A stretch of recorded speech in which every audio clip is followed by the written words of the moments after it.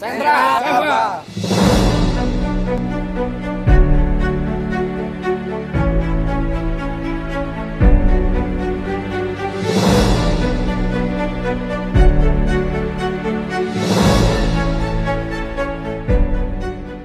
Selamat siang semuanya. Pada kesempatan ini, kami akan melakukan workshop sosialisasi kualitas.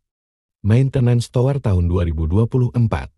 Ada beberapa hal yang perlu kami sampaikan, dan sebagai refreshment saat melakukan maintenance tower.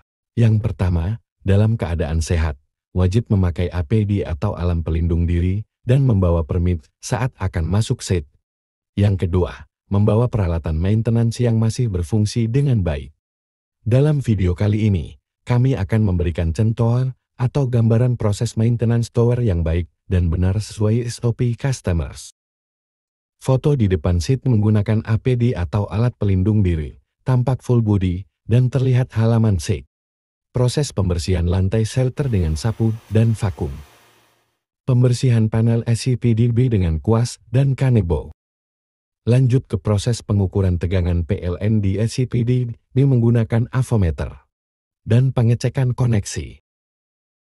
Proses membersihkan AC dengan cara steam unit indoor dan outdoor. Setelah selesai membersihkan AC, ukur tekanan AC dan suhu ruangan.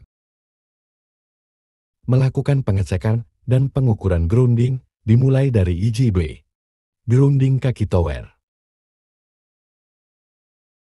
Grounding bak control. Grounding IGB. Dengan toleransi nilai pengukuran di bawah 1 ohm. Melakukan pembersihan halaman seat dari rumput, daun kering, dan tanaman merambat di pagar. Pastikan halaman seat benar-benar bersih sampai ke sudut-sudut seat. Untuk seat yang ada fix genset, wajib melakukan pengecekan fungsi otomatis genset.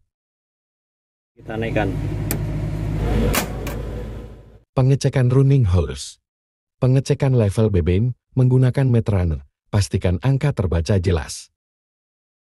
Demikian yang dapat disampaikan. Apabila ada yang perlu ditanyakan, dapat dilanjutkan ke sesi berikutnya. Terima kasih.